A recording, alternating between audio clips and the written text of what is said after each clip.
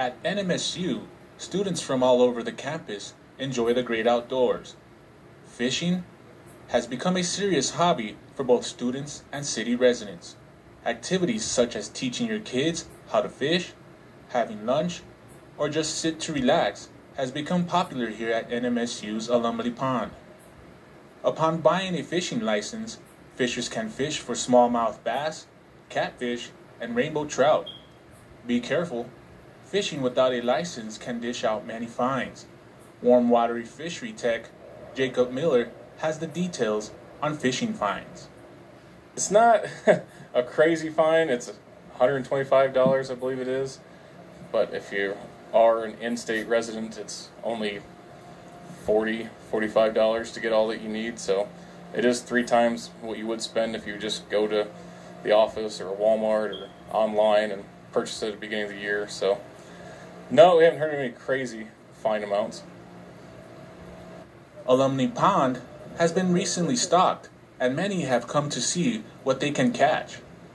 Fishery technician Jacob Miller has all the details. We're doing a creel survey, as I mentioned before. So previously, when we stocked, it was mainly on the size of the pond, but now we're trying to go to the different areas and see the angler use and try to see how many, how much is actually being used and adjust our stocking rate based on that to try and make people happy. Although Jacob Miller says that it is beneficial to stock an alumni pond. The fish grow to an average of 9 to 14 inches, which can provide a good meal. Stocking the pond with lots of fish is a good food source for local fishers. In the wintertime, Alumni Pond is stocked once every two weeks. Yeah, so the three biologists I work with are the walleye, the bass, largemouth and smallmouth, and spotted, and then the catfish biologists. So that's the three main ones we focus on in our studies, but if we need help with the Rio Grande cutthroat trout or the Gila trout or rainbow trout stocking, we go along to help. Alumni Pond is home to many fish and also ducks. Groundskeeper workers respect their home by keeping the pond and landscape clean and free of trash.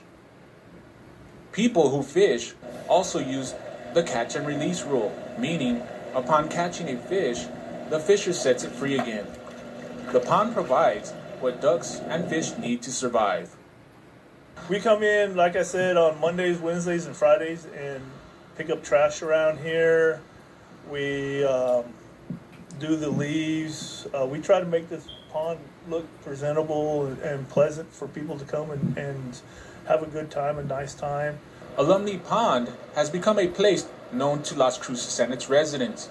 Many know what it's like to enjoy what the pond has to offer fishing, a time to relax, or just eating lunch. All these things are great to do when you are at NMSU's Alumni Pond.